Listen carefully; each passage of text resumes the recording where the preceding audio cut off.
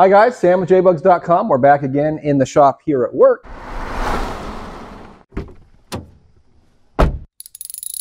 At work on the 1967 Beetle. You guys haven't seen this in a little bit because, well, we've been busy on a lot of things since the new year and that period, uh, doing a lot of work at home uh, after hours uh, on Nathan's car. Here at work, uh, not a whole lot's changed. Still have the, uh, the unassembled long block that we need to finish turning into a running engine. Of course, we got the 67 we still have plans with. Back over there, we've got uh, that damaged aluminum engine case and a whole bunch of products. 84 millimeter flanged crankshaft 92 millimeter thick wall pistons and cylinders strokers of course. Uh, so we're going to build a large engine. If anybody is really good with numbers an 84 by 92 or 92 by 84 depending on which way way you want to go with it. Uh, that's going to be a 2234 engine we're going to build that thing into. Over here we've got a gram scale ring grinder flap wheels and stuff like that so I can go through and end weight our connecting rods we can make certain that our pistons are uh, all match weighted. Same thing on the connecting rods. That's why we got all that stuff.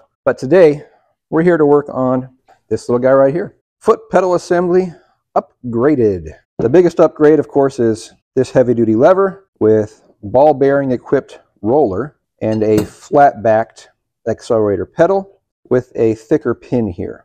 More strength and much smoother throttle actuation. Let's get to it. So we're going to take that EMPI kit and get that installed with that upgraded pedal, which involves jacking the car up, loosening the clutch cable, then we can go inside, pull off our access plate on the back side of the tunnel, disconnect the clutch cable, pull out the pedal assembly, bring it over the bench, make uh, one small modification is all that should take, I believe, depending on if it's got the, the little arm on the back side of the accelerator pedal. We'll take a look at that. If that's there, we'll cut that out. But other than that, it's a pretty much a bolt-on affair.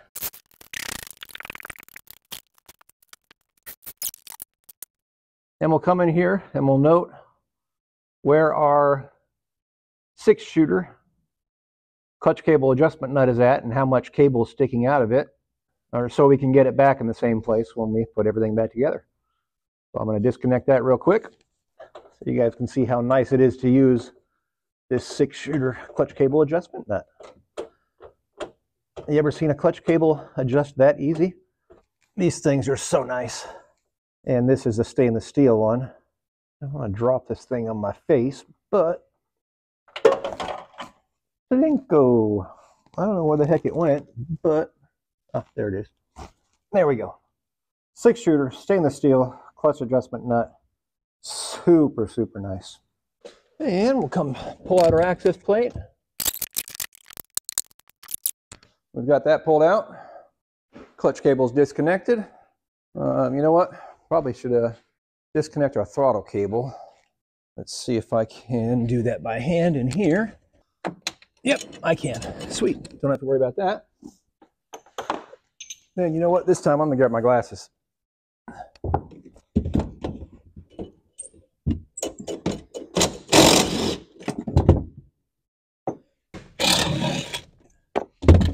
It's that and that. I guess. We'll make life easy and disconnect the brake pedal rod. With all that disconnected, clip for our brake pedal push rod, spring disconnected, brake pedal push rod disconnected, and perhaps, maybe, I can have my pedal assembly out. There we go. Just like so. Pedal assembly's out. All right, six and a half millimeters, basically equivalent to quarter inch. We got all that. We've got our pedal assembly. We'll pound out that pin. And here we can see the stock or accelerator lever. It's only got one pivot here. This will actually end up doubling up that pivot to give it more stability. Now that came out by hand, probably because I cleaned this thing up earlier. All right, so that's our stock lever, which gets upgraded with a double pivoting lever, much more secure on its axis. I also got to push out this pin. And you can see that the upgraded shoulder bolt doesn't fit our stock pedal.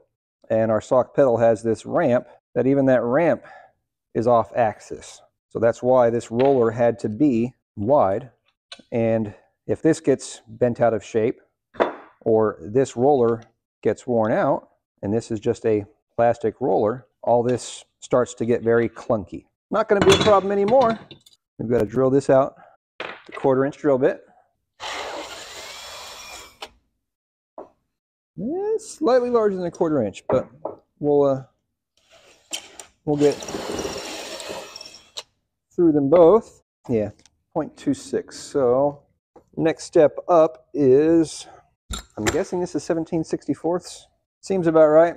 17 64ths is our next size up.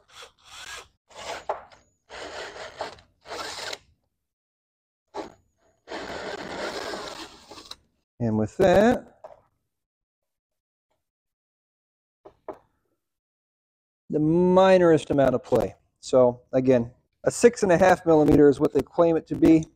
If you can get a six and a half millimeter drill bit, you'll probably be better off. But 17 64ths will do. So now the question is, is whether or not, oh, yep, I'm pretty sure we're going to need to knock that guy off, but let's find out. That guy attaches to there. This guy goes through here. Set that that way no modification needed on that style. So if your stop's way back there, we're good to go.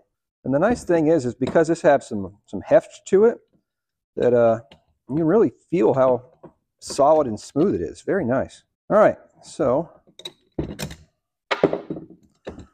do that, that, that, that, and that.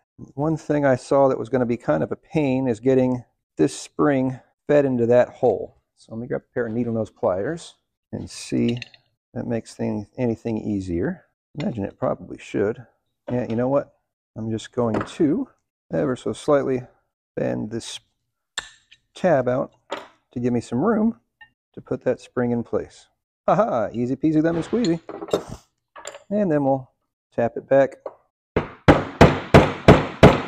Good as gold. Got to be up past that step. There we go.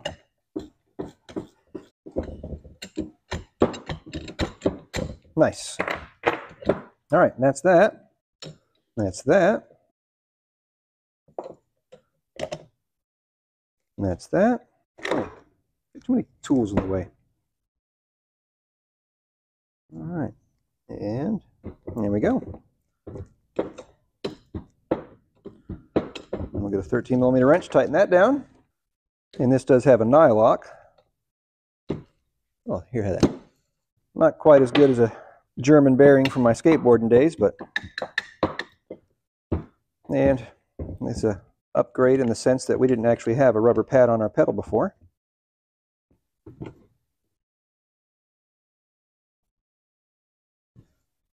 And we'll make certain everything is in and overlapped on the back sides. Make certain that our pedal pad is secure, just like so.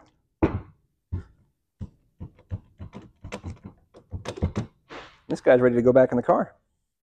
And there we can see everything that this pedal kit replaces, not including, of course, we didn't have a pedal pad, but so we replaced our pedal, pivot, spring, pin, lever, roller, washer, and clip with this kit, which is lever, roller, bearing equipped, nut, pin with circlip, spring, shoulder bolt with a nut. All that is replaced with heavier duty items and that pedal is now spring equipped. All right, hopefully I'm not in your way while I'm doing all this install, but if I am, I'm sorry. Always my least favorite part is the, the brake pedal spring.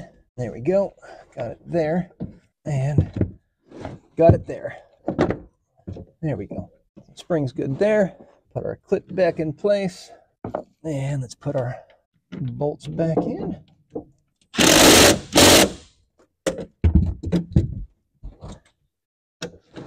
Now I'm probably gonna need some needle nose pliers to get the cable in. Came out so much easier last time. I kicked the camera over, I'm sorry. Hopefully you guys can still see. I was able to get the cable out of the old lever without disconnecting it from the carburetor but I can't get this thing in without disconnecting it. So I've got it disconnected from our carburetor now. And let's see And you know what? I'm going to disconnect this lever, or the spring rather, because that just makes it so much easier to get into and work on. There. Well, all right. Well, now that we're disconnected, I can get some slack and insert the cable.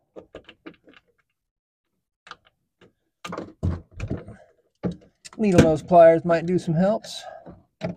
There we go. Beautiful. All right. That's set. Let me go hook up the uh, throttle cable at the carburetor. There we go. And I can't push this and pull that at the same time, so let me film that, make sure that we're getting a full throttle.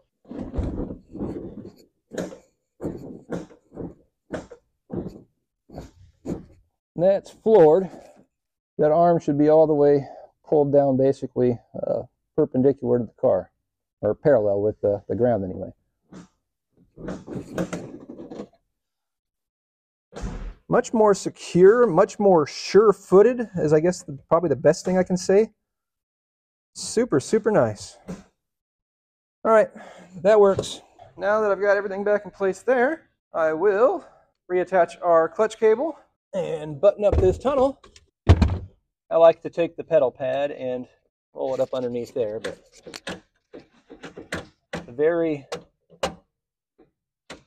solid, smooth accelerator pedal. It's also a good upgrade for those guys that you lost your accelerator pedal lever. I love clutch cable access plates, and now you can see why. See how easy it is to uh, attach a clutch cable? Just like that. Anyway, as I was saying, it's a great kit for those that uh, somebody may have swapped out your pedal assembly to a roller pedal and you want to go back to a stock pedal, as long as they didn't cut off the mount at the bottom right there, that's all you need. And you can go back to a stock style accelerator pedal, the rubber pad. Yeah, we need to replace those, but we'll get there. That's all there is to that. Other than now I've got to go underneath the car and reattach the clutch cable and do all that stuff. But you guys have seen that process. That's nothing new.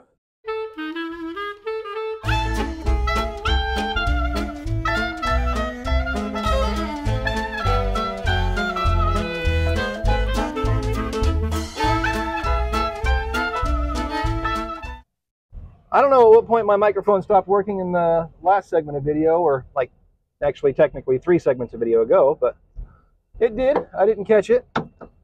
So I got to go for another drive.